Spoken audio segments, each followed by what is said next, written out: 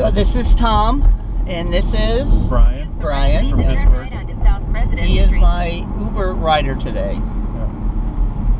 So Bryan, how do you like Uber?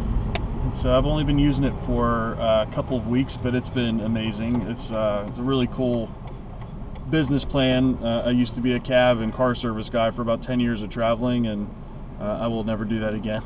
I'll never do that again. so tell me, uh, experiences, any good ones, any bad ones? Yeah, everything's been good so far. I haven't had any uh, bad experiences whatsoever. I mean, uh, my first ride was a, a gentleman actually at Baltimore Airport a couple weeks ago that um, was on his way to work and turned his his app on and um, thought he would do a run or two, and um, so it was it was great. I mean, everything's been good. That's good. Have you come across any of the surges yet since you've done it? No, I so uh, one of the drivers told me about that, um, and he said that he avoids it typically whenever they go on, and he goes to another spot because there's not likely to not be any drivers anywhere else once a, uh, you guys under you know know that a surge is there. Right. Yeah, That that is a good thing. I mean, Yeah. once a surge starts, a lot of drivers go to the surges, and then all the other areas Yeah. are, are, are left with no driver sometimes. yeah, that's what he mentioned. So it, Yeah. it is good to do that. Yeah. You know, Yeah, I do both. I go to surges, or I just stay away from them. It, it, it doesn't bother me either or. So what is it? Do you, do you guys get a, a note, uh, or do you get a, a, a note saying that there's a certain activity going on and we need drivers in an area? Well, there's a there. You have a map, a constant map with you, and when that map, it'll turn certain colors, like a yellowish and oranges, Yeah. and it'll say one.